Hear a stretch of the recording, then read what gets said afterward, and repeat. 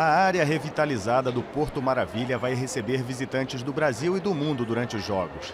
Nesta quarta-feira, o comitê organizador da Rio 2016 apresentou o Boulevard Olímpico. O projeto reúne uma série de eventos e a transmissão ao vivo das principais competições esportivas, tudo com entrada gratuita. O maior deles, com quase 3 quilômetros de extensão, vai ficar na região do Porto.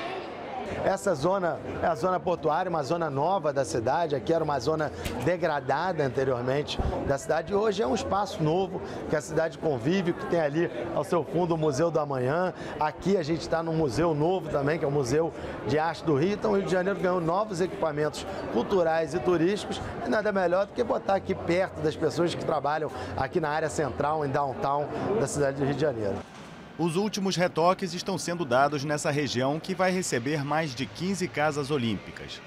A expectativa é que 500 mil pessoas venham ao Rio para o maior evento esportivo do mundo.